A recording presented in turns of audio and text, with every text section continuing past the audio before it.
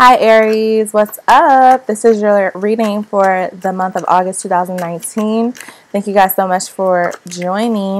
Pisces are us. Y'all really showed out on your video last month, so I had to get yours out as one of the first, even though I never get these videos out on time. but let's see what's going on, Aries, for you guys. All right, so we have the Five of Swords here upright the lovers. Wow. And then we have the um, Six of Pentacles in reverse. Hmm. All right, Aries. All right, you may be feeling some competitive energy coming your way here. I'm getting a sense of you could be in a third party situation um, with this Five of Swords coming in next to this Lover's energy. You could feel as if you have to compete for someone's attention, for someone's love. All right you could really feel as if there's a bunch of suitors coming towards the person that you are trying to suit or that you want to suit you.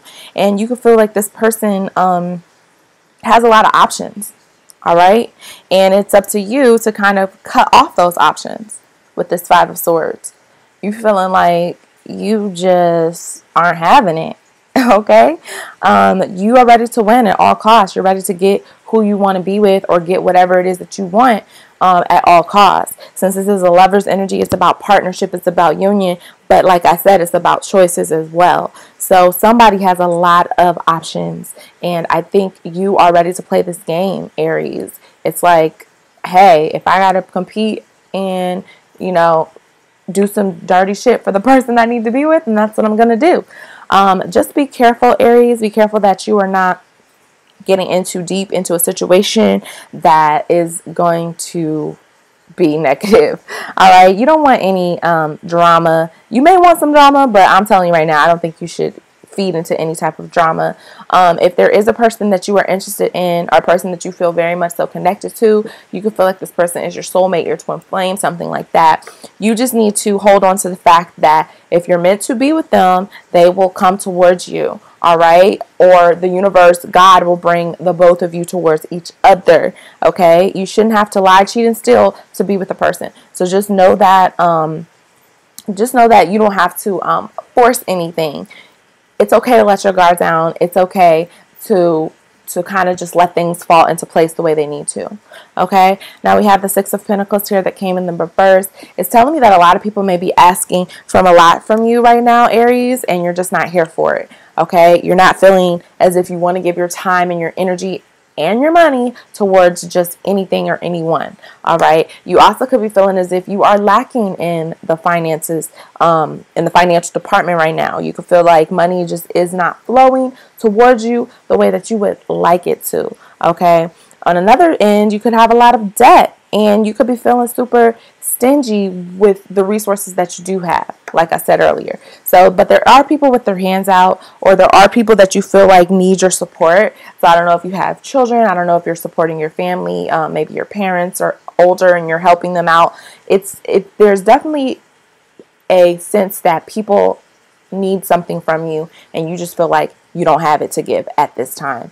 All right, and that could really be weighing on you, Aries, because you guys like to be the ones to, you know seem as if you have it all together and if anyone needs anything, you know, you'll be there for them if you really fuck with them like that. But in this point in time, it's just like you don't have it right now. Like the resources that you do have are tied up and you just can't give anything else to anyone else um, besides yourself at the moment. You know, you have to be selfish at this time. That's how you feel about it. Let's see if we can clarify. I'm really interested in this lover's energy with this five of swords here. So can you clarify this lover's energy for Aries? God, I'm just getting this. Any messages to help Aries to clarify. All right. The High Priestess and the Temperance. Wow. So you could be dealing with like a Sagittarius or maybe a Pisces. Um, or maybe a Virgo with this High Priestess too. But wow, Aries. So you're feeling like you're feeling like things are very off balance right now, which is why I was saying earlier, like it's just you're not feeling comfortable enough to give what you have because you feel like things are just off balance. This high priestess, you also feel like you're not following your intuition right now. You're not able to hear yourself or your inner voice. So a lot of what you're going through Aries could be confused energy. Like like I said, it could all be tied back to this lover's card. You could feel as if you are are soulfully connected to someone where you feel out of control because of this connection. And you feel like you have to win to get this person and you feel like you have to win to get your your finances in control and you feel like people want so much from you. It could just be a lot where you're just feeling not like your normal selves.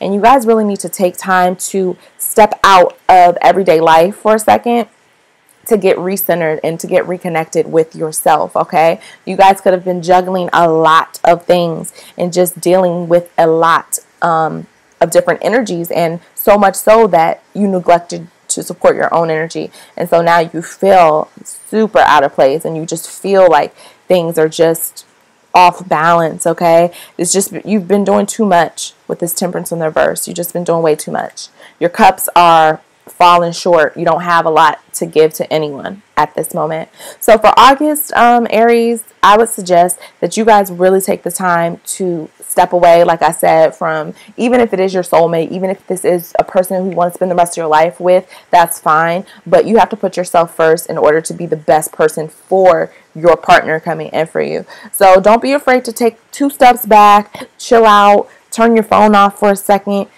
call off work shit if you need to. If you're not going to lose your job, just call off. Give yourself a break because there's a lot of um, a mental um, anguish on you right now, and you really need to just get recentered, get refocused, and get back to Aries. You know, get back to who you truly are.